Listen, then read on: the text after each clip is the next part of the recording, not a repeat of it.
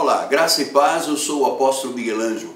Estou aqui para engrandecer, glorificar e exaltar o seu santo nome. Você sabe, Jesus vive a interceder por nós. E Ele está agora, neste momento, orando por mim, orando por você, intercedendo diante do trono por cada um de nós. E sabe que a intercessão de Deus não falha, é perfeita. É uma cobertura de um manto sagrado sobre as nossas vidas. Deixe-me dizer-lhe um fato importante.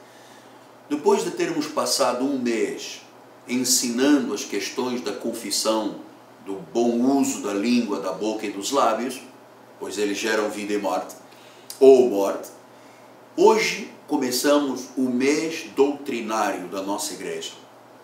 Eu gosto muito, como um pastor reformista, um teólogo reformista, eu gosto muito que o povo tenha acesso à teologia, ao ensino, à explicação e ao ensino de quem é Deus. E que conheçam a plenitude das doutrinas sãs, a revelação da graça. A doutrina é aquilo que se ensina, que se explica a respeito da palavra, a palavra para a igreja gentílica, a palavra transformadora, a palavra renovadora. E você sabe, é, não se pode viver cristianismo sem a graça de Deus. A lei o ministério de condenação, de morte, é doentia e manipuladora. Não existe coisa mais manipuladora na vida do que você fazer parte de um ministério legalista. Ele te manipula, ele te ameaça, ele te confronta, deixa você num estado de perplexidade, deixa você num estado catatônico, você fica para morrer com as coisas da lei. Tanto se fala de diabo, de demônio, que a pessoa entra em morte espiritual sem se aperceber. A graça de Deus não. A graça de Deus é vida. A graça de Deus revela Deus.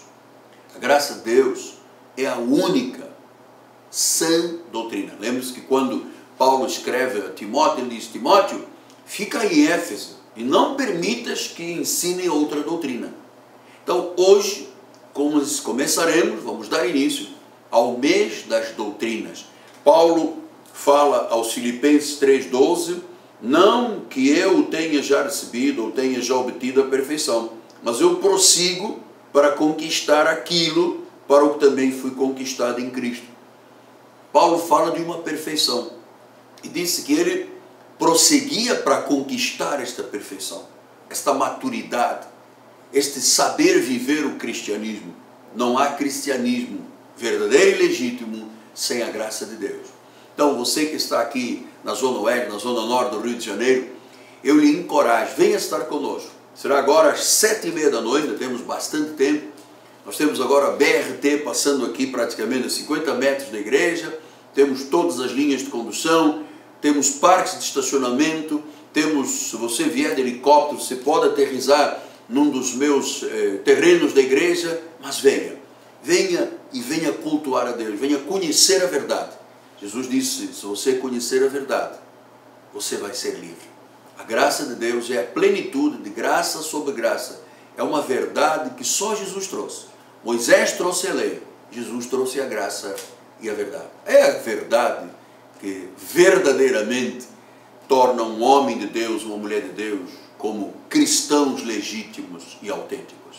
Eu aguardo por você. Meu telefone é 30 17 90 90 021 Rio de Janeiro, sete e meia da noite, Rua Maricá 320, paralela Cândido Benício. Sou o apóstolo Miguel Ângelo e eu quero me despedir de você aguardando a sua visita à igreja.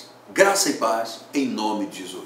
Vamos prosseguir para conquistar a perfeição que Deus tanto quer que o seu povo viva. Graça e paz.